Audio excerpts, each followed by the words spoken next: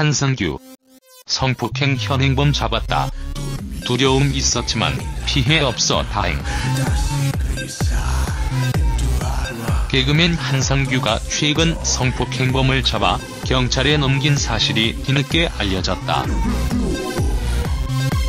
한상규는 30일 자신의 인스타그램에 지난 25일 창원 공연을 위해 이동하던 중 새벽 3시경 창원시 의창구 대산면 한적한 국도변에서 택시 기사가 차를 세워놓고 승객으로 보이는 여성을 도로변에서 옷이 상의가 일부 벗겨진 채로 성폭행하려는 장면을 목격했다며 안전요원팀이 바로 제지를 해 다급하게 살려달라는 여성을 안전하게 조치시킨 뒤 신속히 경찰에 신고해 큰 사건이 발생되지 않게 조치했다고 남겼다.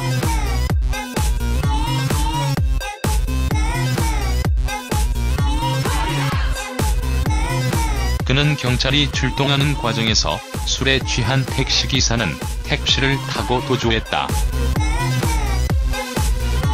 잡고 싶었으나 그 과정에서 물리적 충돌이 발생할까봐 도주를 제지하지 않고 택시 번호와 여성분을 충분히 안심시킨 뒤 경찰에 인계했다고 설명했다. 이어 산모님들을 위한 사회공헌 팀이어서 여성을 위해야 한다는 본분은 있었지만 흉흉한 세상에 어떤 불이익이 생길지 모르는 두려움도 사실 있었다며 경과 확인을 한 결과 창원 서부경찰서 여성 청소년계로 사건이 이관되어 범인도 잡히고 여성분도 더 큰 피해가 없었다는 결론을 얻고 잘 마무리되었음에 안심되어 사건 경과 보고를 드린다고 전했다.